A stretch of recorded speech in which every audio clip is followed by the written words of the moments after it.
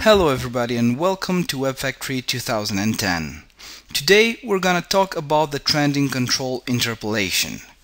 When we talk about interpolation, we think at the estimation of a function's value between two known values. In the trending control, interpolation defines the way of representing the values of a signal in a chart using lines. The trending control offers us three interpolation methods. The first method is the straight line, the cubic spline and the differential method. I have set up a trending application with the same signal represented by the three different interpolation methods in three different colors as you can see right over here. This way the visual differences are obvious. So let's take a look and see how these three interpolation methods really look like.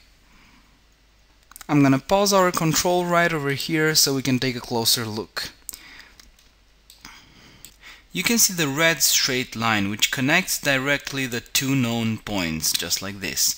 The green cubic spline which connects the known values by approximating a third degree curve function, similar to a Bezier curve. And the blue differential line which connects two points by using square angles to indicate the difference in the values right at the moment the values have changed.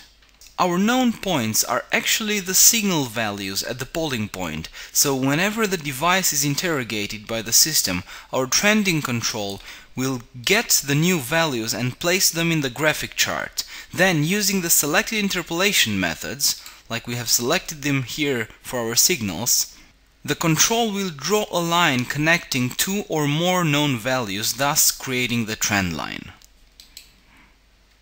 Now let's start from the beginning and see how can we set up all these trend lines. For starters, we're gonna go into the settings and delete our signals. So we can add them again and set them up. I'm gonna click the add button and select the frequency 1 signal.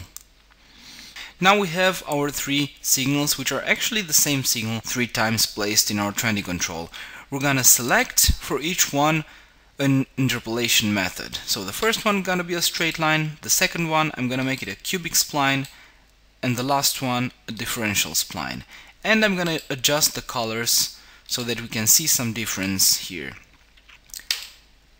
And our interpolation lines will get drawn on the surface of the trending control. Well, this is all about interpolation methods in the trending control.